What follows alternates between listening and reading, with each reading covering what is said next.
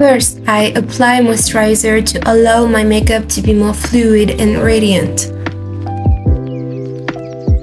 Then I apply BB cream all over my face with my hands. I prefer this product to foundation because it is less covering and gives a natural look. For the concealer, I first applied it on my hand and add moisturizer to it. This step is necessary if your concealer is very covering like mine. If it's light or creamy, it's not necessary.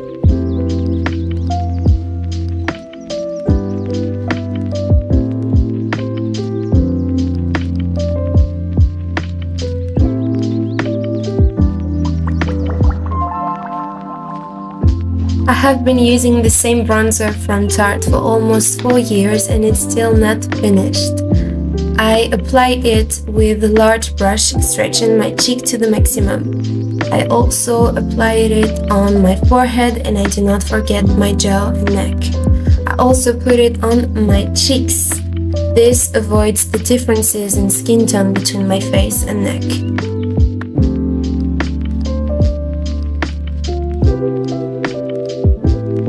For a luminous and radiant look, blush is essential. I applied it on my cheeks, focusing on my cheekbones.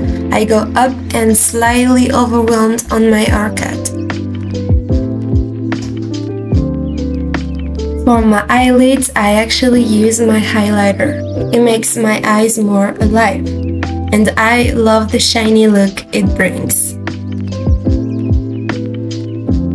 For my liner, I use a light brown powder to create a discreet line on the corner of my eye.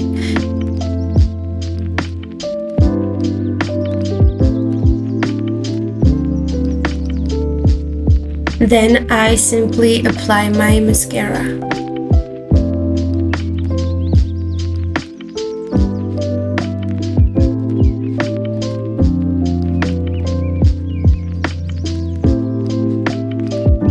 Tint my lips, I first use a pencil to redraw my lip contours.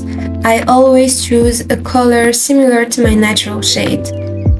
Then I apply a more colorful lipstick on it by slightly tapping my lips. So the last step is my eyebrows. To keep them in the shape I want all day, I use a brush and hairspray. This technique is unstoppable. It works better than any product I've ever used. And that's it. This is the final result.